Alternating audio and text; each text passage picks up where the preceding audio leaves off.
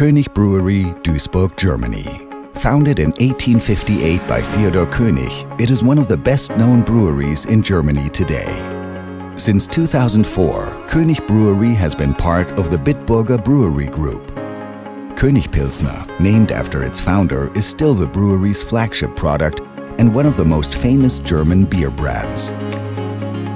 Here at the König Brewery in Duisburg, we follow the traditional process steps of beer making, from mashing to lautering to wort boiling, all the way up to fermentation, filtration and bottling of the beers.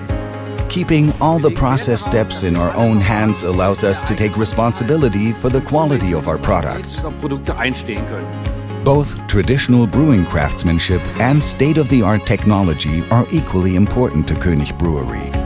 The company recently commissioned a new pressure tank cellar to further enhance on-site processes. We opted to take the planning and implementation of this pressure tank cellar project in-house at the Bitburger Brewery Group. This major effort was accomplished in close cooperation with our suppliers. It was KROHNE that deserves special mention. We supplied electromagnetic flow meters, hygienic temperature sensors, limit switches, and a complete pressure instrumentation for the various measuring points. The level measurement in the bright beer tanks is certainly the most interesting application. Our pressure tank cellar is comprised of a total of 20 tanks. 16 with a gross volume of 2,000 hectoliters and 4 with a capacity of 1,000 hectoliters. This buffer capacity is needed to accommodate the process steps of beer production, which is calculated in weekly cycles, and the process steps of bottling, which run in hourly cycles.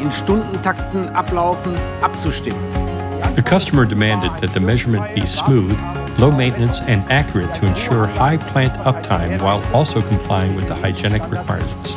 For level measurement in beer tanks, conventional differential pressure measurement with capillary tubes has proved its worth. That's why it was initially planned to be used for the buffer tanks at König Brewery as well. For ease of access, the transmitter was to be installed in the tank dome at the top of the tank. This, however, is not feasible with ordinary DP measurement based on diaphragm seals and capillary tubes. This principle has a certain limitation regarding the length of capillary tubes since the filling fluid vapor pressure in the capillary tubing would otherwise fall below the process vapor pressure, causing the measured liquid column to collapse.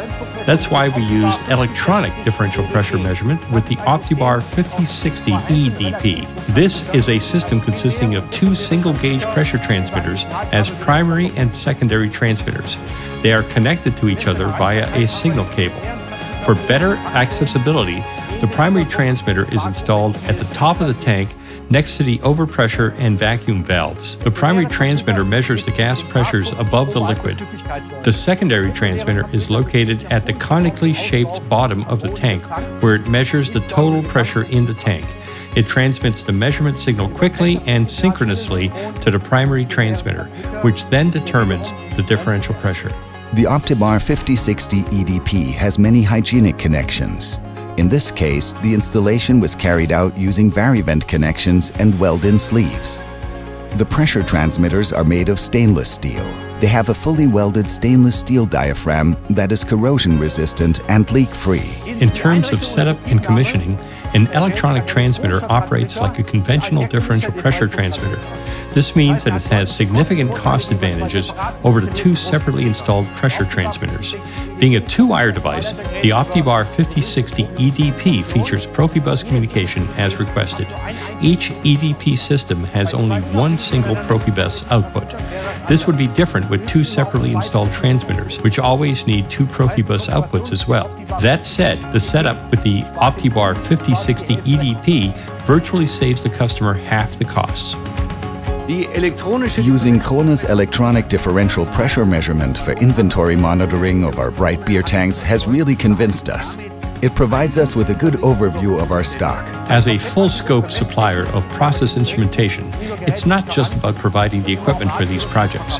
We act as a measurement technology partner for the technical department to bounce ideas off. In this way, we are able to provide targeted advice, bringing our long standing application expertise from the beer brewing industry into this project.